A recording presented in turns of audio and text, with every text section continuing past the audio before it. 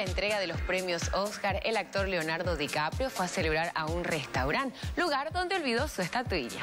Leonardo DiCaprio fue el protagonista de una singular anécdota. Luego de la ceremonia de los premios Oscar, ingresó a un restaurante en el West Hollywood para celebrar su reconocimiento. ¿Cómo se nota que no está acostumbrado a tener en su poder la estatuilla de los premios de la academia, que al retirarse se le olvidó en el local?